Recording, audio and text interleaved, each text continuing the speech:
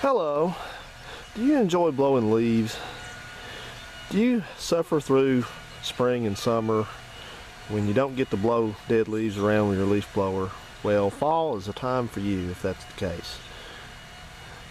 Now you're able to get your electric powered leaf blower or gas powered leaf blower out and blow leaves for hours at a time because the good thing about it is if you blow them early then there'll always be more to fall and you'll always have to do it again. Okay guys, so what we are working on today is this thing. This is the, it's called the 90 degree oil filter adapter that goes on this dart on this 318 and they don't like to crawl under there so I'm to see if I can show it to you from above which I probably can't. But if you look right in there, right in there, in that spot right there, that's where the oil filter or the oil filter adapter goes onto the engine block. So what happened is this thing has got gaskets between it and the block like that and a couple other gaskets and it has this large bolt that goes through the center of it to hold it onto the block. So here's the replacement gaskets. There's three gaskets as a matter of fact in total. And what happened here is this thing started spontaneously leaking around the perimeter of this adapter. That's the side goes to the engine up there. That's where the oil filter goes on.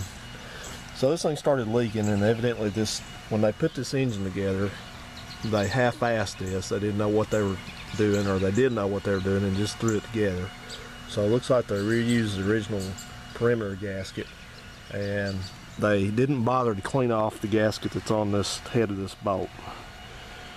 If you can get a look at this maybe eventually. So I'm chiseling that off and when you do something like this it's got a gasket and there's oil fluids being retained by that make sure that you don't scratch from the inside out because that creates a pathway for oil or whatever to leak out chisel it like around what you know just make a, a, circle with it and chisel it up. That way if you put scratches on this thing it won't leak.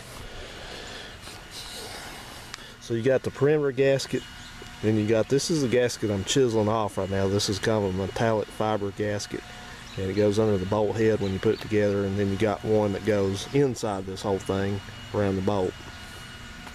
And I didn't even put that cork one on.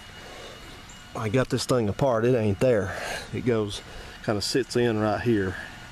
And uh, you can see there ain't no, been any gasket there in a long time. And what happens is when you do that when you leave that gasket out then it lets oil that's not been filtered bypass the filter and go right back into the oil oiling system. So that's not good. That's a stupid idea to do that. And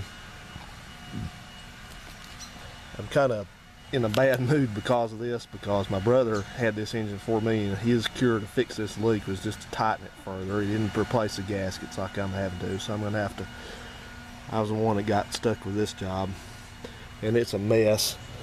For the second time I've had to fight the oil filter off of this thing by beating holes in it and bang my hands up and stuff. So I'll show you real quick. I paid this oil filter back for causing me so much grief. There you go. That's what a sledgehammer will do to an oil filter if you get whacks. Blow those leaves.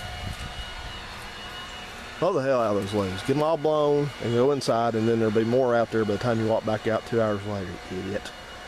Alright guys, see you later. Bye.